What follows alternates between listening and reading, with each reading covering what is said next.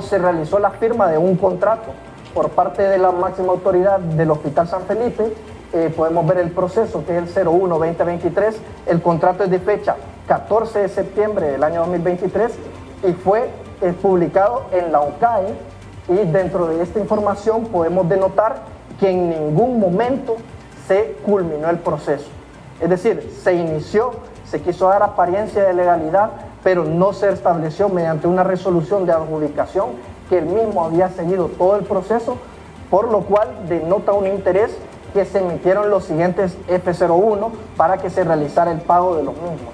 Tenemos el F01-010-73 que establece que se tiene que realizar el pago de 2 millones y medio y de igual manera es aprobado, como lo pueden ver, primero verificado por Belia Varela en su condición de ex administradora del Hospital San Felipe y aprobado por Carlos Murillo, director del Hospital San Felipe. Por otra parte, tenemos el F01-010-85 que establece el monto de 2 millones y medio y de igual forma vemos el verificado por la ex administradora y aprobado por el ex director del Hospital San Felipe. Pero lo que denota interés es que la misma CESAL establece, mediante un oficio de fecha 17 de mayo del año 2024, que los procesos correspondientes a dichos F01 no se culminaron. Es decir, no se terminó y no se cumplió con, el, con los términos legales establecidos dentro de la guía de la OCAE, el PCM 04-2023, además de la ley de contratación del Estado, entre otras. Eh, es importante hacer alusión que a lo interno del Hospital San Felipe se realizó en vista de que la,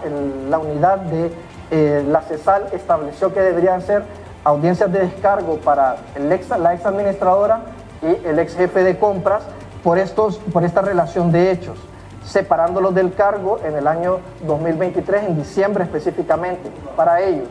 Por lo cual podemos concluir señalando directamente que para el presente caso investigativo se encontraban totalmente en blanco los expedientes de las contrataciones directas 09 2023, 10 2023 y la licitación privada 02 2023, sin ningún tipo de documentación que acredite que se siguió el proceso de manera legal. Por otra parte,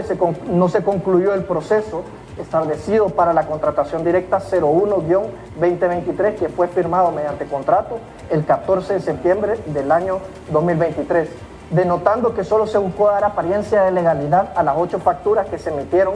desde febrero del año 2023 a septiembre, con fecha posterior a todos estos sucesos que ascienden a más de 13.955.000 millones de lempiras. Con base en ello, podemos denotar que el CNA el día de hoy ha interpuesto una denuncia ante el Ministerio Público por suponer los responsables del delito de violación de los deberes de los funcionarios en perjuicio del correcto funcionamiento de la administración pública al exdirector del Hospital San Felipe, Carlos Roberto Murillo, la ex administradora Delia Varela y el ex jefe de compras José Salomón.